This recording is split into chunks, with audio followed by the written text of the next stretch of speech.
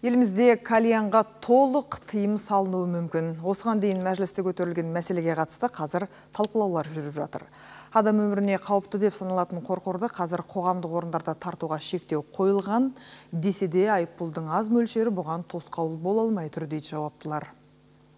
Түтіні будақтап түрлі жеміс жидектің қоспалары мен хош иісі бар кальянды қоғамдық тамақтану орындарында тартуға шектеу қойылса да тыйылар емес. Былтырдан бері мыңдаған адамға айыппұл салынған. Бірақ жауапкершілікке тартылғандарға салынатын айыппұлдың аздығы кәсіпкерлердің заңнан аттап өтуіне жол ашып жатыр дейді мамандар. Мәселен, тыйым салынған орындарда қорқор тартуға 55 мың теңгеден бастап 185 мың теңгеге дейін айыппұл қарастырылған. Енді денсаулық сақтау министрлігі елімізде кальянға толығымен тыйым салуды көздеп отыр. Бұл ретте денсаулық сақтау министрлігі биыл реттеушілік әсерге талдау жүргізуді жоспарлап отыр. Оның нәтижелері бойынша кальянның, кальянға арналған темекі мен кальян қоспаларының айналымына толық тыйым салуды заңнамалық енгізу мәселесі қаралатын болады.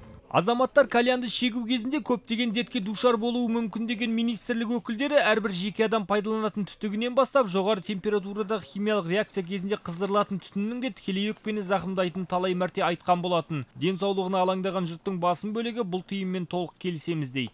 кальян шегу ол жастарда там көбінесе таралған иә ол денсаулыққа өте зиян деп санаймын оны же Оның зияны темекіге қарағанда әлдеқайда көбірек екендігін білемін. Кейде тамақтану орындарына барсаң, барлық ғимаратта иісі алып тұрады. Сондықтан бұл өзге тартпайтын азаматтарға да зиян келтіреді деп ойлаймын. да вы знаете все равно Қоғамдық орындарда кальян шегуге тыйым салынса да, оның іске аспай жатқан бұған дейін депутаттар да көтерген болатын. Себебі кәсіпкерлік субъектілер тексеруге мораторий болғандықтан батыл әрекеттер жасалмаған. Ал жаңа заңнамалық енгізудің нәтижесі қалай болатыны алдағы уақытта белгілі болмақ. Бауыржан Жақсымбет, Ринат Абулқайыров, Информбюро.